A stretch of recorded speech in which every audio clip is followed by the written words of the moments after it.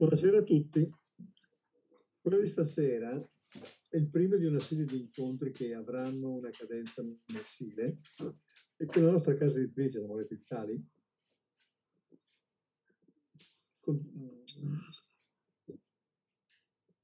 contando molto anche sulla preziosa conduzione di Davide Alessandro, sul supporto tecnico di Piero Buongiorno, dedica a tematiche del profondo e più specificamente esistenziali. Il nostro intento è quello di ricercare una connessione fra il mondo interiore e quello dell'immaginazione, dei sogni, dei tormenti e il mondo esteriore, quello storico insomma. Dunque cercheremo di gettare una sorta di ponte tra il dentro e il fuori, tra i temi di sempre e la complessità dell'oggi. Tutto questo mh, seguendo il filo rosso che contraddistingue il nostro progetto editoriale. Cercheremo di avvalerci al contributo degli autori che danno corpo a questo progetto e, e quindi di poter contare su queste vecchie e nuove collaborazioni come intellettuali che contribuiranno a questo processo.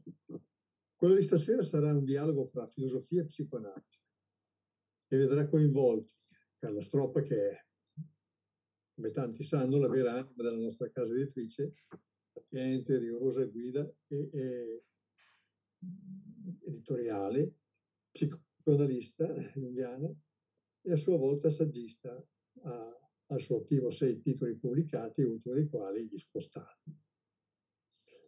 Lucio Saviani è il secondo, la seconda figura coinvolta stasera, quello attorno al quale ruota un pochino la serata, che è filosofo saggista, dirige fra l'altro la nostra collana di narrazione della conoscenza ed è considerato una delle più qualificate voci del pensiero ermeneutico italiano.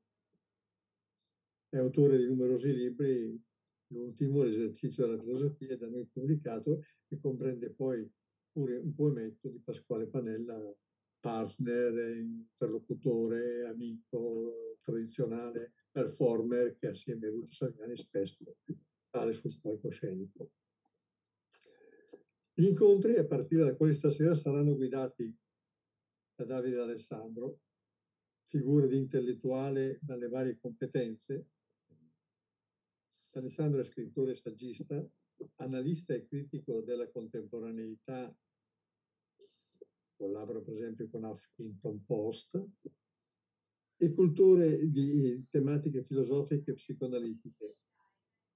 Alessandro è autore di numerosi libri, fra cui e saggi, fra cui eh, due che recentemente hanno suscitato parecchio interesse e, e riguardano proprio filosofia e psicoanalisi.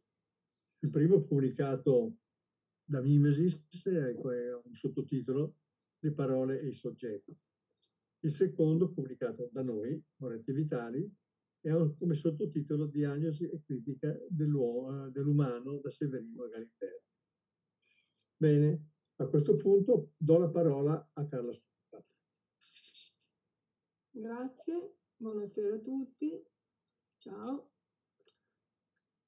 Allora, quello che farò, essendo che io non sono una filosofa, ma, ma una psicanalista, cercherò di ehm, dire qualcosa di trasversale rispetto a questo libro di Lucio Saviani che a me è molto piaciuto per varie ragioni, poi magari le dirò, e perché proprio questo, il pensiero di Lucio mi consente di mh, intercettare dei punti di connessione con la psicoanalisi, cioè non con la psicoanalisi clinica evidentemente, ma con la filosofia che sottostà a, a certa psicoanalisi, no? Io sono sempre molto interessata alle connessioni fra linguaggi, no? a cercare i punti di convergenza all'interno della differenza. E quindi la prima osservazione che faccio riguarda proprio il linguaggio di Lucio Saviani, perché mi sembra proprio un linguaggio in cui si intrecciano eh, l'eros e il logos. L'eros, che è quella capacità che procede anche per balzi intuitivi, anche incurante dei balzi fra il tempo e lo spazio, più alla ricerca del senso, che vuole connettere sulla base del, delle connessioni di senso, e il logos che invece ha un andamento più mirato, più, più lineare, più in cerca dei rapporti tra causa e effetto. Ecco, mi sembra interessante che ci siano entrambe queste dimensioni nel libro no? perché effettivamente la scissione, diciamo così, fra ehm, l'eros e il logos è una delle grandi patologie, si può dire, del, del, del, pensiero e non solo del pensiero, anche del nostro tempo, no? che per varie ragioni che adesso non abbiamo il tempo di analizzare ha soprattutto valorizzato il logos, no? a scapito invece del corpo emozionale, diciamo del corpo dionisiaco. No? Ecco mentre nel libro di Lucio Saviani sono contemplate entrambe le cose eh, in una cornice che ha una sua unità di stile, di timbro inconfondibile. Eh, dentro questa cornice ci sono i temi abbastanza, direi, classici di Lucio Saviani, che sono temi che appunto sono molto condivisibili col pensiero psicanalitico. Allora, la soglia, il gioco, l'alterità, il limite e la trascendenza, il rapporto fra distanza e vicinanza, tanto per dire qualcheduno dei più, insomma, diciamo generici ma anche essenziali. Questi temi che Lucio Saviani argomenta e narra, perché appunto il suo linguaggio anche narrativo, mm, sono davvero gli stessi della psicoanalisi. La meta è proprio questo è quello di la meta del, del, percorso insomma, di conoscenza attorno al quale stiamo ragionando, è proprio quello di eh, ritrovare le connessioni fra queste due dimensioni, sia della società, no? della storia, sia nella psiche anche individuale. No? i neuroscienziati parlerebbero di cervello destro e cervello sinistro. No? Va, va, da sé, è, è, ovvio, è intuitivo che un cervello per essere sano deve avere entrambe le parti, no? sia la destra che la sinistra. Allora, mentre eh, una è deputata al pensiero logico, l'altra è deputata, è deputata al pensiero intuitivo e immaginativo, ci vogliono entrambe, no? ci vogliono entrambe. Quindi eh, questo stile di scrittura che è molto differenziata, ma al suo interno ha proprio questa, questa tensione, almeno io ho colto questa tensione, no? in cerca, diciamo, di una riconnessione dei linguaggi, degli sguardi alla vita verso l'individuazione di una via di mezzo, di una terra di mezzo. E le parole per dirla, no? eh, per dirla questa terra di mezzo, no? perché eh, non è poi così scontato e così facile. C'è una critica nel, nel, libro di Lucio Saviani, una critica al, um, all'intellettualismo eh, supponente, no? a quel, quel, eh, insomma, quella supponenza intellettuale, io dico pseudo-intellettuale, che pensa di capire tutto, attraverso un linguaggio solo astratto che non tiene conto appunto di, di cosa c'è nel mondo interiore, no? Ecco, c'è una critica a questo, no? E questa è anche la critica della psicoanalisi, eh? anche la critica della psicoanalisi. Qui mi viene in mente, cito brevemente un, un libretto di Musi sulla stupidità, eh, si chiama proprio La stupidità, in cui dice che eh, appunto la stupidità consiste proprio nell'aver scisso, no? cioè il sentimento, il cuore da, da, dalla ragione. No? Secondo Musi, io lo condivido in pieno, questa è proprio una manifestazione di grande stupidità. Ecco, mm, molta importanza viene data da, da Lucio Saviani al, all'immaginazione. L'immaginazione è anche uno dei temi chiave del, del pensiero psicanalitico, soprattutto junghiano, insomma, no? Ehm, senza immaginazione si rischia di rimanere impaludati nel contingente, no? nella, nella, mera eh, contingenza. L'immaginazione è quella capacità mentale, quel sovrappiù che consente di dislocarsi, è uno sguardo, è una postura mentale, mentale che consente di dislocarsi dalla mera contingenza per assumere un punto di vista appunto non troppo distante ma neanche troppo vicino, che consente di vedere in un unico atto i due poli della, della vita, della, della, vita individuale e collettiva. No?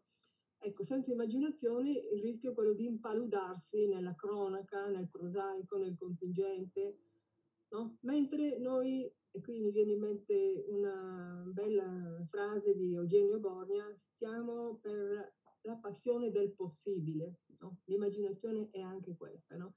è la passione di un oltre eh, del possibile, insomma, se no si rischia di cadere nel detto e ridetto, cioè nel pensiero senza anima. C'è un personaggio che Lucio Sabbiani cita che a me piace, è molto simpatico perché è una perfetta metafora, diciamo, di, dei due poli, delle due facce dell'immaginazione. È un personaggio appunto di immaginazione creato da Henry Rasp, si dice così, spero, che è stato poi ripreso da molti autori, da Adorno ad esempio, e da tanti altri, proprio per la sua valenza metaforica e prospettica. E lui parla di un personaggio che è il barone di Munchausen, si dice così? Munchausen, ecco. Che è il barone di Munchausen, che, Munchausen, che è una figura eh, veramente stupefacente, fantasmagorica, mm, perché cosa fa questo personaggio? Esce dalla palude in cui lui si trova tirandosi per il codino dei capelli. E lui ha, de, ha, i capelli con un codino, si tira dal codino e esce così dalla palude, che è evidentemente un gesto assurdo se lo guardiamo dal punto di vista del logos, no? Va da sé che è un gesto folle. Però se lo guardiamo con uno sguardo simbolico come noi, a noi piace fare, possiamo anche dire qualche cosa invece di interessante, no? che appunto da, da, una, da una condizione di stagnazione in un pensiero trito, ritrito, si può uscire attivando, attivando i pensieri creativi, perché diciamo la testa è la sede del cervello, i capelli possono, se fosse un sogno si potrebbe interpretare così. Eh, I capelli sono emanazioni del pensiero, no? per cui facendo leva sui propri pensieri creativi si può ehm, raggiungersi, ci si può elevare dalla, dalla palude, insomma. No? La psicoanalisi si è interessata di questo, di questo, personaggio, non solo la psicoanalisi, perché è stato oggetto di, insomma, di tante interpretazioni teatrali, cinematografiche e quant'altro, proprio perché un, ha un valore metaforico. No? Um, la psicoanalisi, dicevo, si è interessata, ma soprattutto per mettere in evidenza gli aspetti eh, patologici della, dell'immaginazione, cioè è nata addirittura eh, un concetto, un concetto, insomma, la sindrome di Munchausen, che sarebbe quella per cui certi pazienti mh, mm, si inventano dei malanni immaginari pur di avere l'attenzione dei medici, no? E quindi questo sarebbe l'aspetto fuorviante eh, della, dell'immaginazione, no? Che no, non vedi più la realtà, ti inventi qualche cosa per...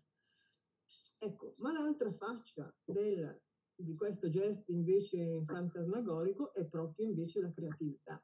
Perché se ci pensiamo, in fondo tutta l'arte nasce da una capacità di andare oltre la realtà contingente e di trasfigurarla, no? Cioè il principio stesso de, dell'arte, della narrazione, anche chi ha scritto questo romanzo ha fatto leva non su qualche cosa di, di reale, ma, ma sull'immaginazione, no? Scrivendo un romanzo trova già un modo per uscire, diciamo, dal, Ecco, quindi questo eh, gesto assurdo e folle ha questa doppia valenza che è la doppia valenza dell'immaginazione, che ti può far uscire proprio no? di testa, nel senso che se prendi la lettera la cosa esci di testa, sei folle, se invece eh, la leggi con, con uno sguardo culturale e simbolico è una grande risorsa, insomma. No? Mm.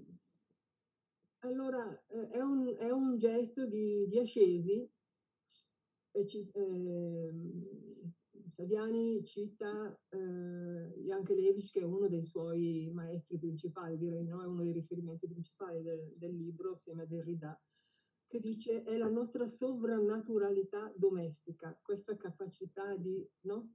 di, di, andare oltre, però in modo tale da mantenere un rapporto con la vita e con la domestica. Il, il, sì, Montana, scusate, il Bonfoy l'ha chiamata trascendenza immanente. Allora, mentre si esplora il, l'oltre, il trascendente, si esplora anche lo, diciamo, il nascosto, il sotterraneo, cioè ciò che non appare, no? Questa cosa della, della psicoanalisi è stata chiamata la memoria implicita, no? Ci sono delle cose dentro di noi che non sappiamo, non sappiamo a livello cognitivo, ma che si sono stratificate e che vanno a formare la memoria implicita. Quindi è un, è un doppio gesto di trasgressione dal contingente, no? vai sopra e vai sotto, no? ehm, per trovare quel giusto distacco. Tra l'altro, ehm, appunto, la ricerca di una via di mezzo è proprio fondamentale perché al di sotto di qualsiasi sofferenza c'è sempre la separazione, c'è sempre la scissione, questo, no? al di sotto di qualsiasi sofferenza c'è davvero la, la, la, scissione, la separazione, no? per cui questo cercare la via di mezzo tra il sopra e il sotto, il dentro e il fuori è proprio fondamentale. Um, allora, mentre si raggiunge quindi una dimensione così che un po' trascende, Lucio Saviano ci fa anche notare una cosa assolutamente importantissima, che si raggiunge anche un po' paradossalmente il senso del limite, no? Mentre si va oltre si raggiunge anche il senso del limite, cioè nel momento in cui la psiche riesce a rappresentarsi la totalità, sente il tutto, sente anche la, la sua misura, la misura piccola, umana, umanissima dell'io, no? Quindi è tutto un po' paradossale, no? Però eh, sono grandi, i grandi temi della filosofia come sono i grandi temi della psicoanalisi. Se vai oltre lo scontato, vai, vai sì nella trascendenza, ma hai anche il senso del limite, no? Cioè mh, di quanto l'io è piccola cosa. Un'ultima cosa, poi chiudo. Eh, l'origine della filosofia, ci dice Lucio Fabiani, eh, da cosa nasce la, la, filosofia seguendo evidentemente un pensiero super, eh, come dire, fondato ne, ne, negli autori che cita e nel suo stesso pensiero, nasce dal, dal verbo, io lo leggo così come lo vedo, poi magari non è giusto, taumazein, è giusto? Ecco. Che non è lo stupore e la meraviglia come in fondo si è sempre pensato, ovvero non solo lo stupore e la meraviglia, perché questo verbo, che, che sarebbe all'origine della filosofia, in realtà ha un, un altro significato che è trauma, trauma, per cui l'attenzione, la, la, l'attitudine a pensare è proprio, nasce da, dal trauma, dal dolore, no? nasce proprio dalla scissione.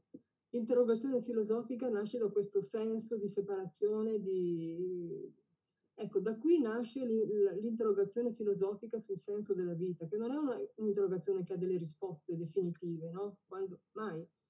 E che assolutamente eh, si discostano le risposte sempre approssimative dal pensiero convenzionale. Perché qui, eh, come dice Merlugo-Ponti, che è citato da Lucio Saviani, la filosofia a noia il già costituito. No? E quindi qui si entra proprio nella sfera della creatività, bisogna costruire. E questo mi consente di dire l'ultimissima cosa, e cioè che questo modo di pensare non, non assertivo, aperto a, alle contraddizioni, all'ignoto, che ama anche l'aspetto erotico, ehm, questo modo di pensare mh, mm, si apre quasi per un'intrinseca logica, logica nel senso di energia, si apre a, a, alla bellezza, allo charme, al poetico, a, appunto al trascendente e quindi mh, mm, proprio si apre per intima necessità a questo. L'ultima parte del libro sull'esercizio della filosofia, infatti, è dedicata a un poema bello di Pasquale Panella, che è un poema poetico che a me in un certo senso sembra che fra l'argomentazione, questo tipo di argomentazione e, e la poesia, anche quella appunto evocata da, da Panella, che è, è su Orfeo, c'è quasi una linea di continuità. Questo tipo di pensiero porta a quello che Ilman chiamerebbe il fondo poetico della mente, quasi per una naturale inclinazione. Va bene, io mi fermo qua, grazie, e adesso diamo la parola a Davide d'Alessandro. Grazie Carla, buonasera e ben trovati. Oltre ad aver letto con estrema attenzione il libro di Lucio Saviani e aver ascoltato con altrettanta attenzione Carla Stroppa, prima di sollecitare l'autore volevo aggiungere qualche, qualche particolare. Intanto soffermandomi sul sottotitolo. Eh? Molte volte i sottotitoli non accompagnano soltanto il titolo, ma finiscono i sottotitoli per essere più preziosi del titolo stesso, e in questo caso lo è. Eh, mi verrebbe da dire, è persino più bello del titolo. Il titolo è L'esercizio della filosofia. Il sottotitolo è Per una vitale incertezza. Eh? Attenzione a questi termini, vitale incertezza, l'incertezza è vitale proprio in un contesto, in un tempo in cui tutti sembrano rincorrere il contrario dell'incertezza, cioè il certo, lo stabile, il sicuro, mentre poi si scopre, anche leggendo questi libri, che soltanto chi è pericolante, soltanto chi è in pericolo finisce per essere sempre, sempre acceso. Chi invece non si lascia prendere e si difende dal, dal pericolo, eh, fatalmente finisce per spegnersi, per addormentarsi. Ha avuto la bontà eh, Enrico Moretti di citare all'inizio gli ultimi due libri da me eh, curati e incentrati su questo binomio, su questi due termini, filosofia e psicoanalisi, che ho ritrovato inevitabilmente dentro il libro di Saviani,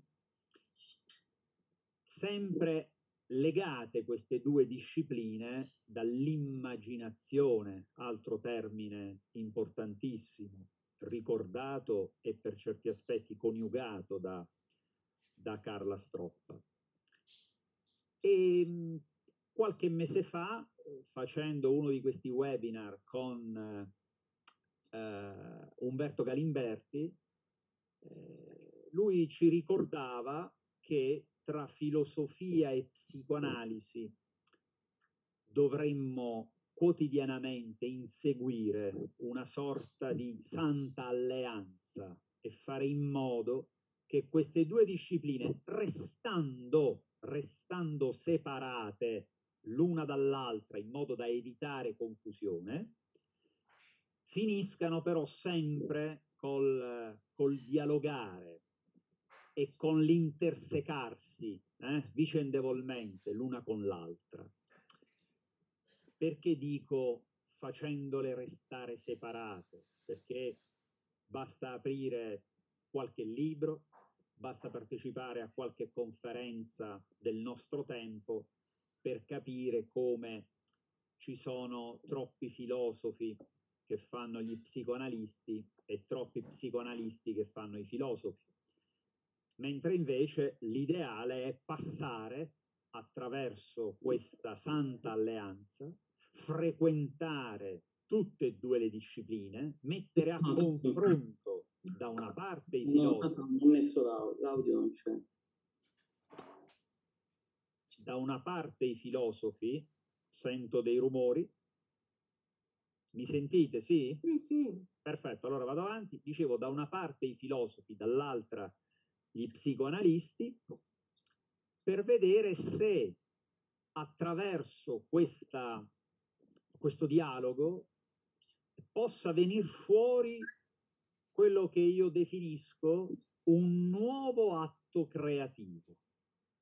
Attraverso questo dialogo permanente tra filosofia e psicoanalisi, cercare di far emergere qualcosa che non sia soltanto filosofia, che non sia soltanto psicoanalisi.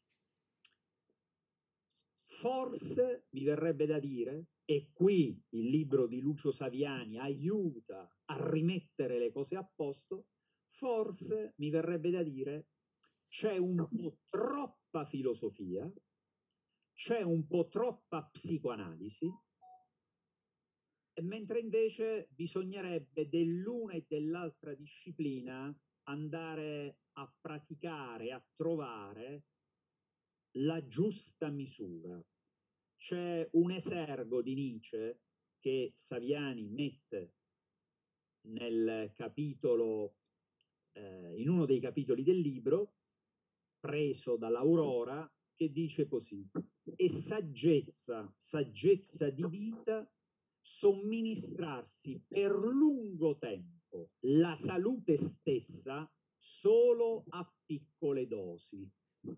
Ecco, non lo prenderei come spesso facciamo con Nietzsche come un grandioso o soltanto come un grandioso paradosso, mi limiterei però con molta modestia a sostituire la parola salute con filosofia e con psicoanalisi.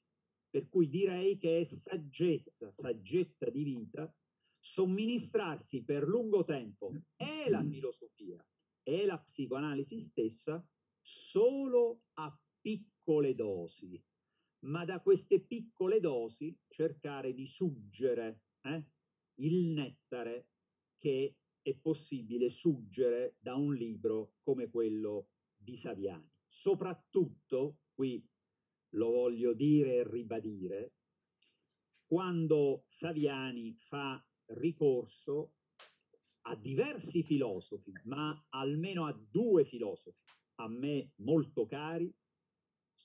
Il primo è stato già citato da Carla Stroppa, e cioè Jankelevich. Il secondo è Gianni Vattimo, soprattutto per quanto riguarda la parte riferita allo sviluppo del tema sul, sul mito. Vedete, come si fa a dire se eh, Lucio Saviani abbia scritto o meno un libro interessante? Beh, mi verrebbe da dire, chi ha letto chi ha assimilato l'opera di Jankelevich non può non scrivere libri interessanti. Dico questo perché con Jankelevich noi ci troviamo di fronte alla consapevolezza di un limite. Eh? Leggere Jankelevich è sempre una splendida avventura, non è mai noioso, è sempre quindi estremamente serio leggere un autore di questo tipo, un autore potente. Eh, vorrei citare soltanto L'avventura, la noia e la serietà, che è un libro del 1963, e già pubblicato da, da, da, da Marietti nel 91 e poi eh, poi riproposto, riproposto ulteriormente. E vedete, è proprio con Jankelevich che ha dietro la sua opera e dentro la sua opera un altro strepitoso autore come Georg Simmel, che c'è questa propensione a interrogare, eh? a interrogare i frammenti della realtà che ci circonda, proprio per cercare di cogliere in questi frammenti, attenzione ai frammenti, alle particelle, la cifra della tessitura generale delle cose. E allora attraverso l'avventura, la noia e la serietà è possibile scrutare nel segreto delle cose, nell'intimo eh, formarsi di ogni singola vita ed è possibile, ecco, se vogliamo farsela una vita, essendo, eh, qui voglio citare, tra virgolette, essendo serio, non prendere tutto sul serio, eh? lavorando quindi come fanno gli analisti, come fa con ogni probabilità, anzi lo do per certo, Carla Stroppa nel suo studio, sui margini, sui bordi, perché lì spesso si annida il centro, mentre noi cerchiamo di andare sempre, eh, sbagliando, a caccia del centro, il centro, vogliamo andare subito al centro.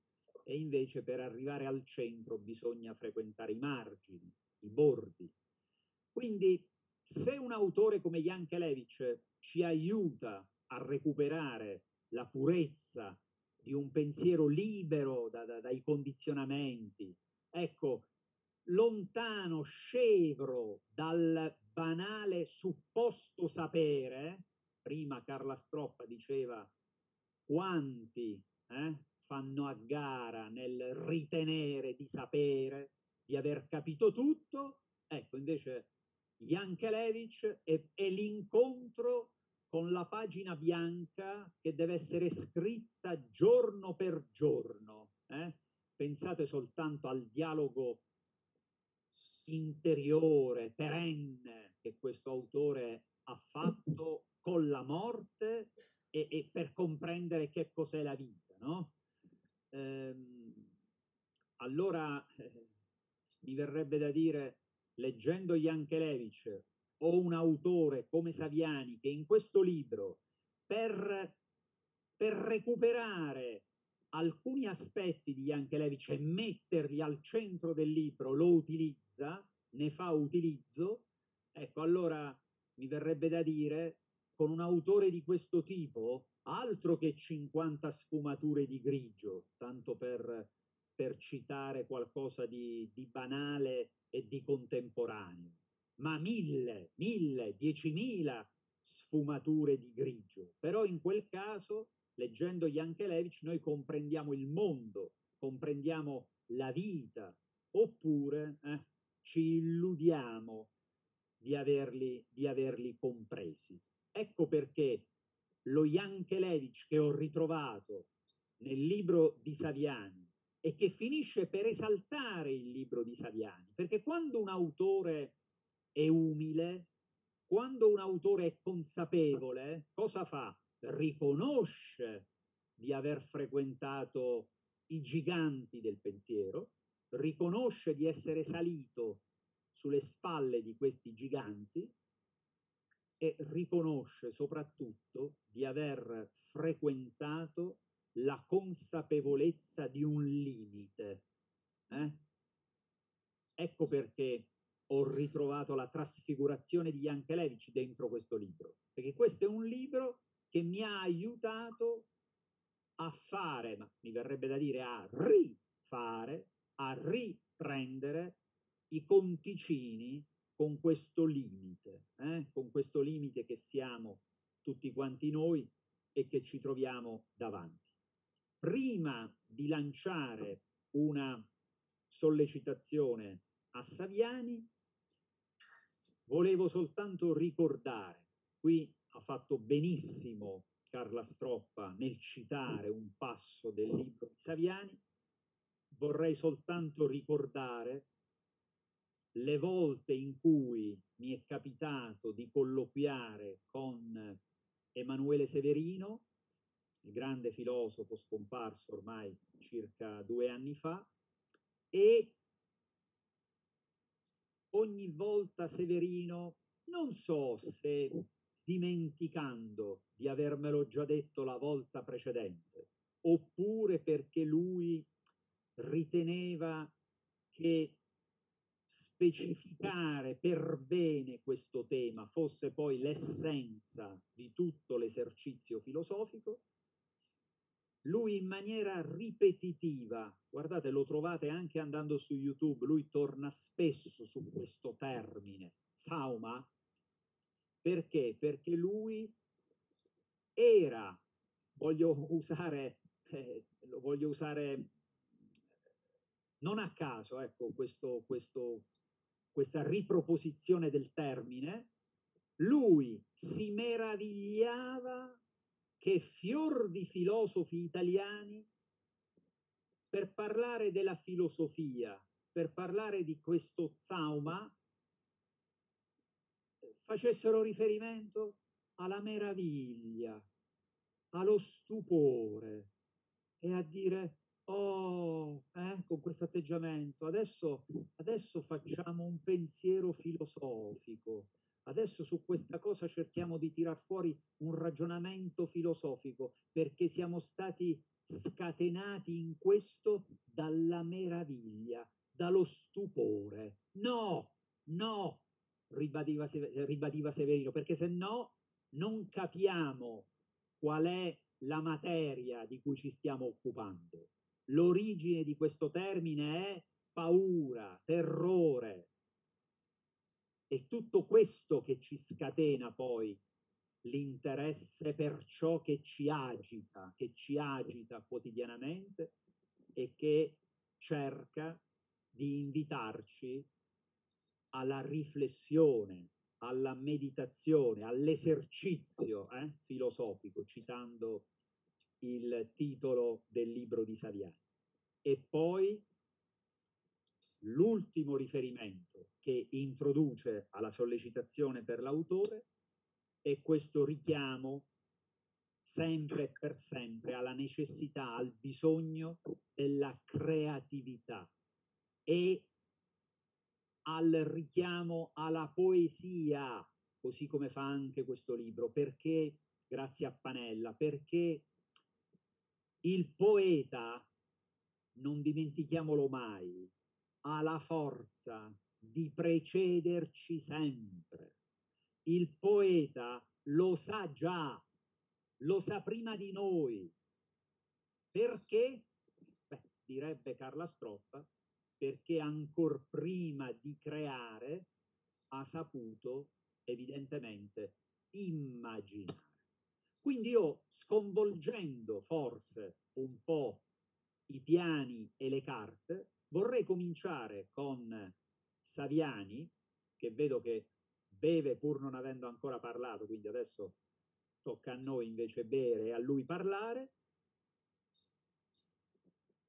Visto che abbiamo incentrato questi primi ragionamenti su queste due discipline, filosofia e psicanalisi, a lui invece chiedo la ragione per cui è necessario infilare o far vivere insieme a queste due discipline anche la parola poesia.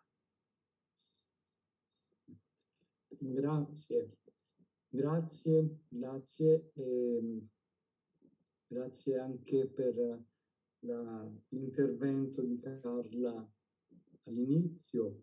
Io, scusate, io be- sto bevendo un po', un po spesso perché ho, ho, un problema proprio di, di gola, di, di, tosse, insomma.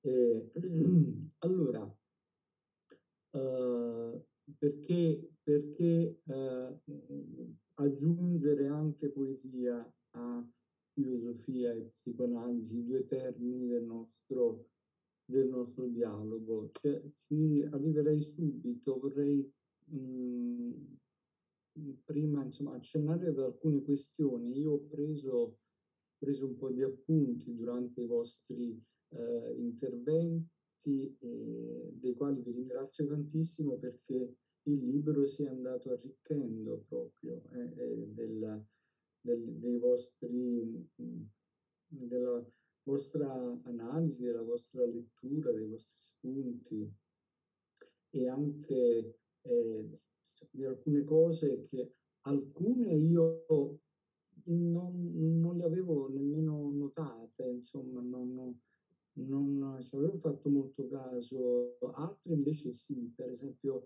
mi ha fatto molto oh, piacere il,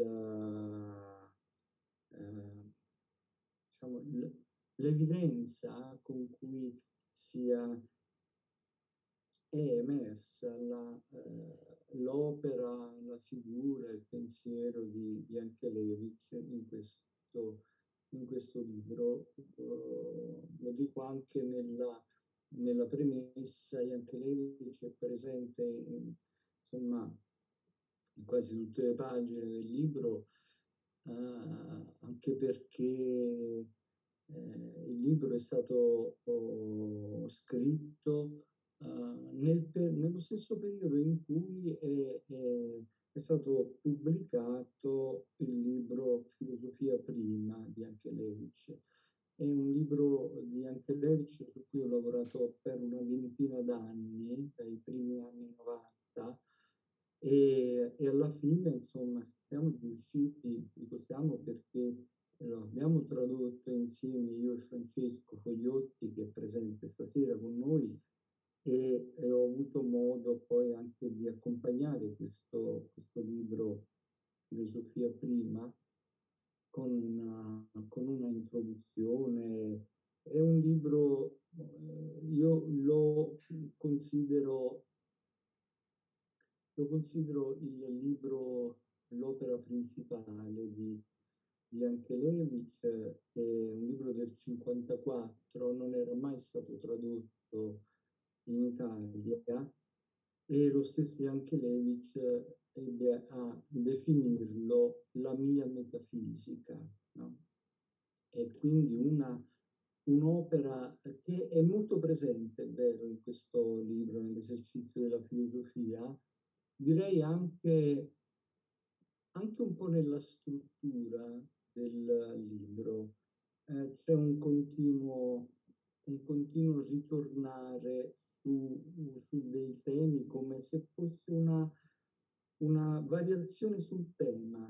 No? Il tema. Il tema del libro è appunto la filosofia come esercizio, ma ci si ritorna modulando questo, questo tema eh, in diversi to- toni, insomma, in diversi modi. Eh, già a partire anche dai titoli, dai titoli dei, dei capitoli. Mi ha fatto anche molto piacere che sia eh, emersa anche la, la, figura di Gianni Vattimo, eh, del quale eh, sono amico da, da, tantissimi anni, da una quarantina d'anni e, e, e a me piace pensare anche questo libro come una sorta di eh, dialogo con, con quella particolarissima eh, traduzione, modulazione eh, operata da Vattimo nei confronti dell'ermeneutica di Gadamer e anche del pensiero di Heidegger i suoi, i suoi punti di riferimento, gli autori che Vattimo ha fatto conoscere in Italia, ha tradotto, e che all'epoca, nei primi anni Ottanta, eh, fu definito con una, con, una mm, mm, eh, con un nome che fece molto discutere, pensiero debole, ma poi questa, questa definizione è uscita fuori un po' anche dalle, polemiche, eh, da, dalle discussioni spesso anche poco, poco approfondite che si, che si svolsero in quegli anni e secondo me ha guadagnato poi nel tempo una, quella sua carica, di, quella sua proposta teorica che era quella di eh, eh, pensare l'essere in una concezione interpretativa e quindi eh, offrire per quegli anni, ma anche per i decenni successivi, una eh, particolare possibile lettura della, dell'ermeneutica e di quello che molto troppo spesso viene anche un po' uh, citato a sproposito, diciamo il dialogo, no? anche nel libro spesso si parla di, queste, eh, di questo abuso del, del, termine dialogo.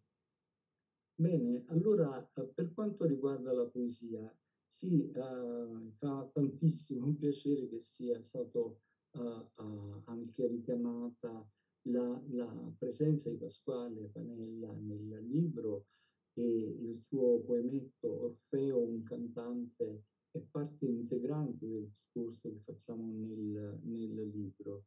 Non è una coda, non è un'aggiunta, non è un abbellimento, non è una, uh, un appendice, è proprio nello spirito in cui Alessandro si invitava a pensare, è proprio una uh, un, un, intrecciarsi, un l'incrociarsi di due eh, espressioni che sono ambedue eh, dimensioni del, del, del, pensare. Certo, in una espressione che, che è differente. Eh, poesia, io eh, oltre all'immaginazione di cui parlavamo poco fa, io ho, ho, parlerei anche di entusiasmo, ma nel senso platonico della parola, quando nello Ione, ma anche in altri uh, dialoghi, Platone parla, parla dei poeti, e ne parla uh, come persone invasate, no? l'invasamento poetico, l'entusiasmo, cioè l'essere abitati da un Dio. È un Dio che parla attraverso di loro. Uh, il poeta sa, sa uh, perché già lo sa, come diceva prima Alessandro, ma sa di poter sapere fino a un certo punto uh, quello che fa eh, perché l'iniziativa, l'iniziativa non è mai eh, umana. Uh, il, poeta, il poeta è ispirato, questa è una tradizione che poi attraverso Plotino sappiamo arriverà fino a Schelling, no? la, la, teoria della ispirazione, la, l'avvio, la, l'iniziativa del fare poetico, artistico, eh, e, e viene da un'altra dimensione che non è quella, quella umana, al quale il poeta corrisponde, eh, corrisponde in un linguaggio che appunto sappiamo non essere né divino né umano, è quella terra di mezzo di cui anche eh, Carla prima, prima ci parlava e quindi andrà interpretato e quindi ci sarà bisogno di interpretazione, come, come, come Enea sesto canto dell'Eneide supplica, prega la Sibilla e dice eh, alle, alle, foglie i tuoi responsi non, non dare, no? Cioè, che non vogliono confuse in preda al vento. Cioè, le, eh, l'espressione poetica non appartenendo alla, alla dimensione quotidiana del linguaggio umano, della anche banale quotidiana comunicazione, conversazione, e però non appartenendo nemmeno totalmente alla dimensione divina, e sarà un linguaggio che andrà, andrà interpretato e andrà, eh, ci sarà bisogno di interpreti. Hermes, a me ha fatto piacere che eh, Carla Stroppa abbia all'inizio eh, evocato eh, questa, mm, questa coppia Eros e Logos, perché Eros in fondo ha, eh, condivide con Hermes il suo essere medium, il suo essere interprete, si fa interprete, no? fa, a, mette in comunicazione la sfera del divino e la sfera del, dell'umano. Questo discorso nel libro eh, viene, viene affrontato nell'ultima parte quando uh, appunto io uh, ricordo un po' nei primi anni 90 uh, i, le diverse occasioni in cui mh, con altri filosofi, amici, eh, avevamo occasione di ragionare sul, sul rapporto tra mito e eh, logos, tra mito e filosofia. E, e appunto, eh, come prima Alessandro ricordava, è proprio in quelle pagine che io riprendo quella, l'impostazione che a quegli incontri cui diede, diede eh, Gianni Vattimo. Ecco, ma magari mi fermerei qui e poi eh, potrei, potremmo tornare anche sul titolo e il sottotitolo del, del libro.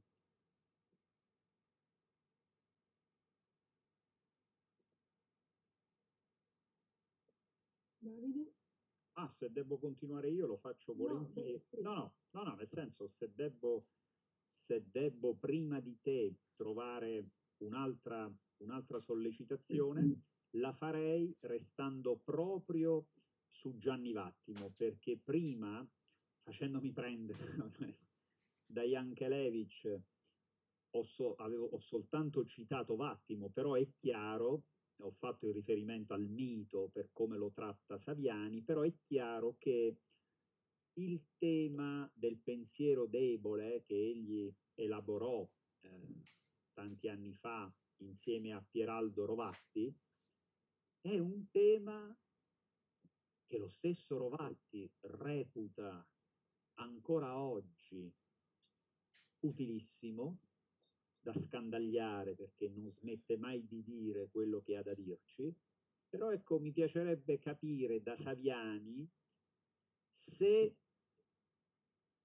anche le forme che hanno dato vita a questo pensiero debole lo hanno fondamentalmente aiutato a scrivere un libro di questo tipo. Se non ci sia anche il pensiero debole dentro questo libro nella matrice di questo libro. Sì, cioè, cioè prima l'ho, ho cercato di, un di anticipare questo, questo discorso uh, sul pensiero debole con lo stesso Vattimo, anche con Rovatti, Ferraris, un po' diciamo il Ferraris del, il primo Ferraris, non quello che era il più anche un po' più interno al, al pensiero debole, eh, sì, ho, ho, più volte, siamo più volte confrontati.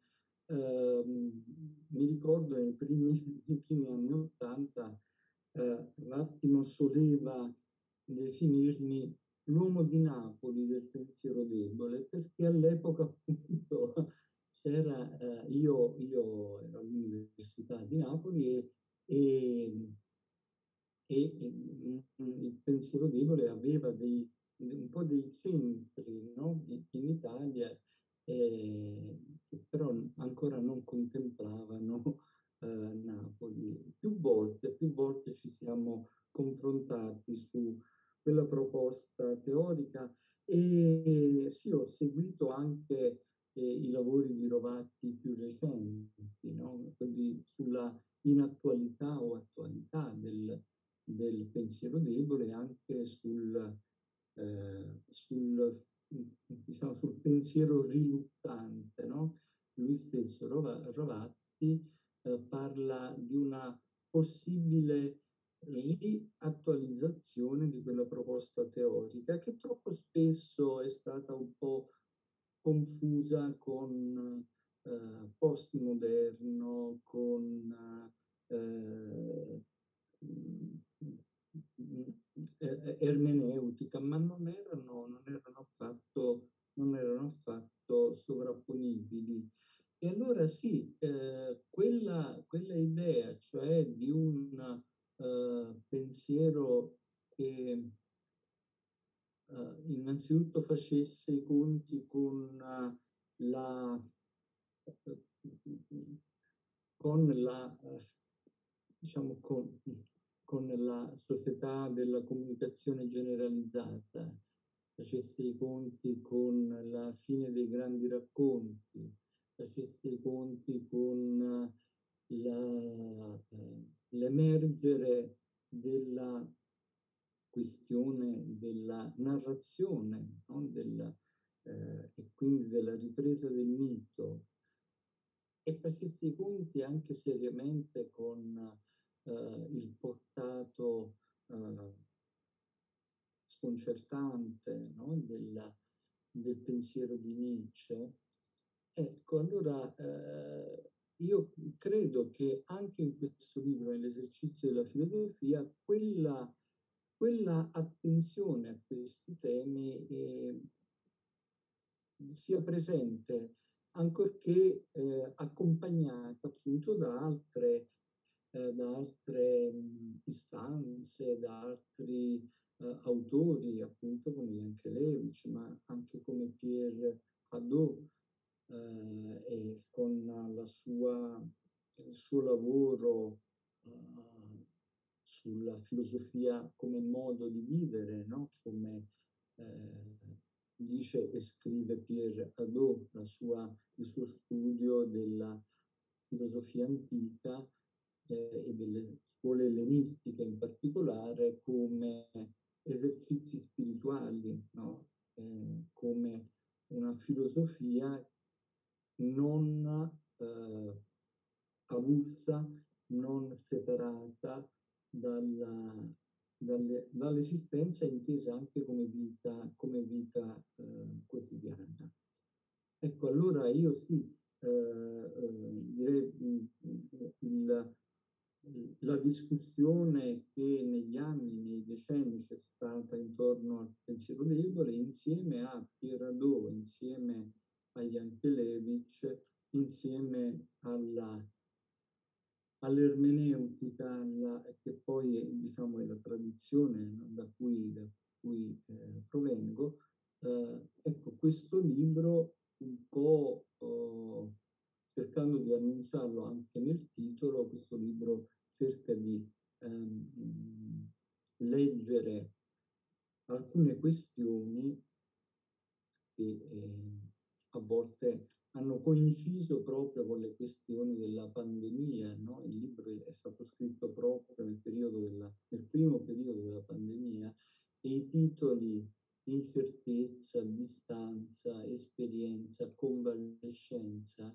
eh, risentono eh, naturalmente in modo evidente anche del periodo in cui, in cui è stato scritto il libro. Noi, e con quest'altra sollecitazione vorrei chiamare in causa non solo Saviani ma anche Carla Stroppa, in modo da far vivere anche durante questo confronto la filosofia e la psicoanalisi, noi eh, sappiamo che riusciamo a cogliere la luce attraverso il buio e viceversa. Potremmo dire la stessa cosa del silenzio e della parola. Apprezziamo il silenzio perché esiste la parola. Ora, ci sono due passi di questo libro che vorrei porre all'attenzione delle due persone che ho citato prima, a pagina 70 e a pagina 71, perché da entrambi vorrei una riflessione per i loro ambiti di studio e lavorativi, sia sulla parola, sia sul silenzio. A pagina 70 scrive Saviani, il silenzio non è la semplice mancanza di parole, di suoni o rumori, né la pausa tra una parola e l'altra. Questi sono i silenzi. Il silenzio vive negli strati più profondi della comunicazione, con una forza comunicativa misteriosa e radicale. Quando si parla del silenzio si intende altro, altro scritto in corsivo Parla del silenzio Goethe quando nel Faust dice la parola muore già sotto la penna, così come Majakowski, io sono crocifisso sulla pagina coi chiodi delle parole. E poi, a pagina 71, la filosofia deve rendere il testo del mondo, il suo non detto, esprimere il rapporto tra i significati delle cose e il silenzio stesso. La filosofia come desiderio, amore, mancanza, ricerca del senso e dunque ascolto del silenzio, azzeramento delle certezze quotidiane e neutralizzazione dei significati già dati. Vorrei chiedere in aggiunta ai due, beh, così parlando e così scrivendo, non stiamo parlando e scrivendo e della filosofia e della psicoanalisi? Cominciamo con Saviani.